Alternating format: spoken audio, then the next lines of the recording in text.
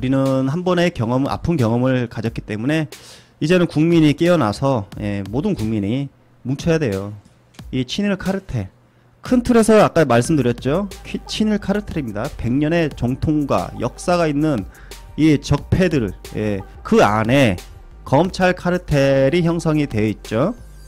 이들이 검찰 개혁과 검경 수사권과 예, 그다음은 사법 개혁과 공수처 설치 이 네 가지를 반대하는 거예요.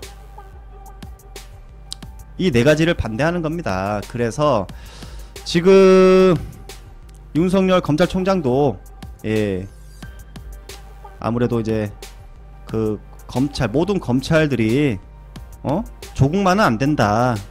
그래서 지금 진보 몇 명, 몇 명의 진보 유튜버 그리고 모든 언론들이 말하는 게 그거거든요. 진보 언론들도 그렇고 조국만은 안 된다. 조국을 빨리 없애고 예? 사퇴를 시키고 다른 예?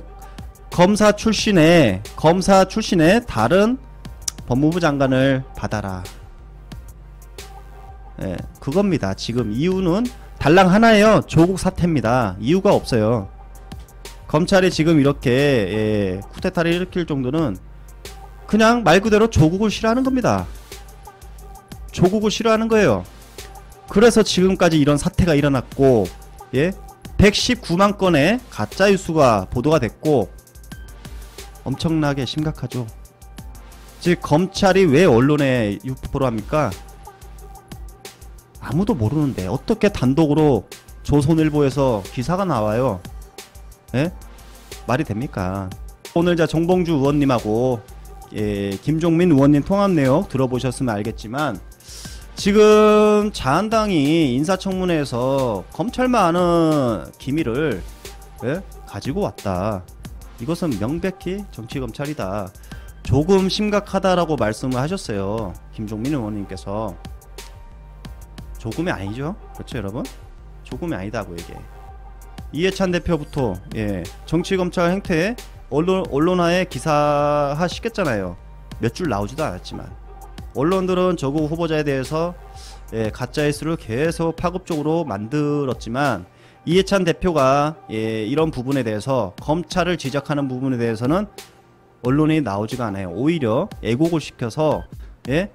검찰을 어? 압박한다. 청와대가 검찰을 압박하고 여당이 검찰을 압박하고 이렇게 애국된 언론을 보도합니다.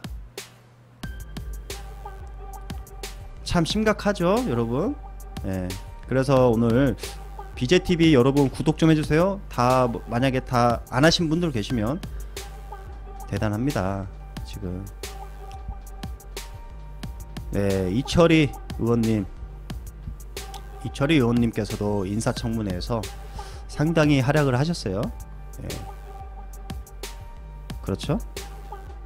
조국 후보자께 이런 말을 하잖아요. 아니 어떻게 민정수석 시절에 어떻게 행동했길래 지금 검찰이 이렇게 에? 이렇게 나오냐? 그러니까 조국 후보자가 뭐 별 말은 안 했지만 뭐 제가 볼 때는 조국 후보자가 민정수석 2년 시절에 검찰에 대해서 상당히 검찰 개혁을 강하게 외쳤던 것 같아요. 예? 그러니까 만약에 검찰에서 이 민정수석 시절에 이 조국의 스타일을 안 거야. 이거 진짜 조국의 법무부, 법무부 장관으로 오면 검찰 진짜 난리 나겠구나라는 자체의 예, 그런 법적 카르텔가 형성이 된 거예요. 뭉치는 힘이 얘네들이 야 조국 진짜 보니까 강하다. 검찰 내부에서 민정 수석 때 너무 잘한 거지. 강력하게 조국 후보자가 예, 아주 강골한 모습을 보여줬어요. 그러다 보니까 반대가 나온 거고 만약에 조국 후보자가 민정수석 때 흐지부지 막 멍, 멍터구리처럼 활동을 하고 예, 이렇게 검찰 개입에 막 불성실하게 이렇게 음? 일을 잘 못했다. 조국 후보자가 영향력이 없다. 그러면 법무부 장관을 받아주죠. 검찰이. 너무 일을 잘한 거야. 예? 조국 후보자가 청와대 민정수석 때 엄청나게 일을 잘한 거예요. 항상 보고를 하잖아요. 항상 국민과 소통을 하잖아요. SNS로. 예? 그러다 보니까 겁난 겁니다. 검찰에서 무조건 조국은 안 된다. 예? 겁난 거예요.